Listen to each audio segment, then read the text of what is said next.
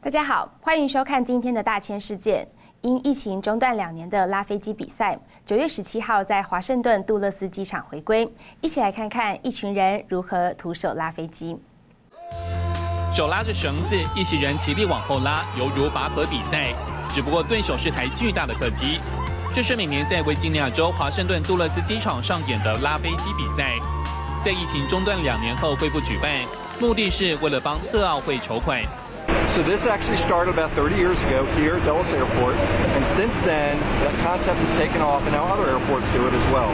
今年约有将近一百支队伍参加，每队二十五人，需将一架八十二吨重的空中巴士 A 三二零或波音七五七客机拖动三点六公尺。